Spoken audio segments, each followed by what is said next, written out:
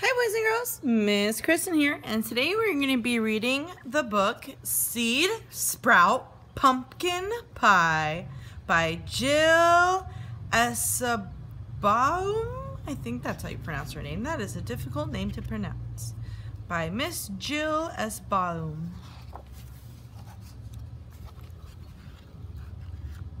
Have you picked your pumpkin? This book is all about pumpkins and where they come from and how they grow and what we use them for. A pumpkin seed is tucked into sun-warmed earth. Spring rains soften its tough coat. So pumpkin starts off as a little seed. A root reaches for nutrients. A sprout reaches for light. Do you see the, the roots going down deep into the earth? And the little sprout is growing outwards, reaching for sun. Soon jagged leaves rise from twisty vines, wandering in all directions.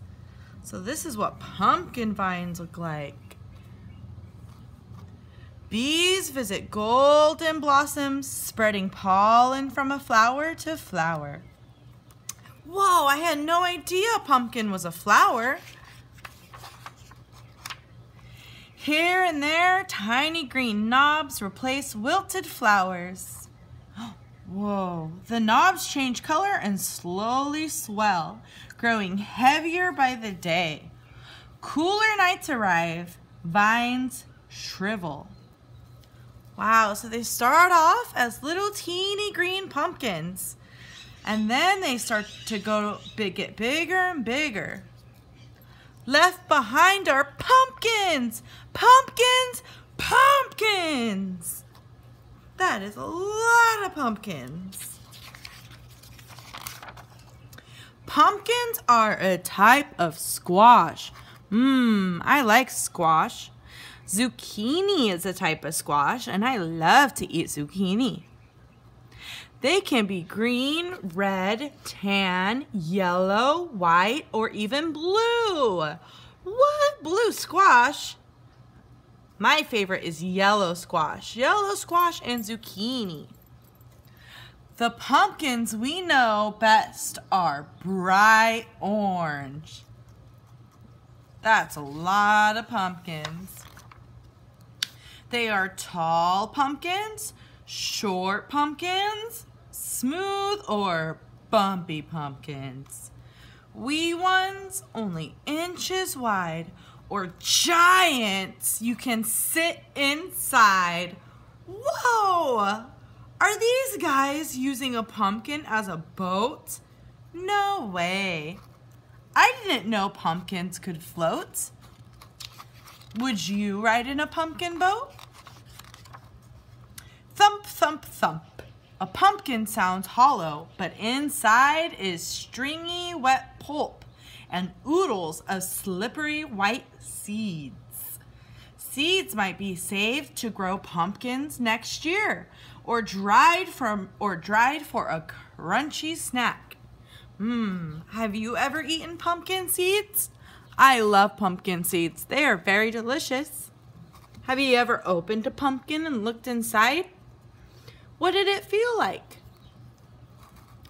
Pumpkin pulp smells sharp and tangy, but can be made into delicious breads, desserts, and soup.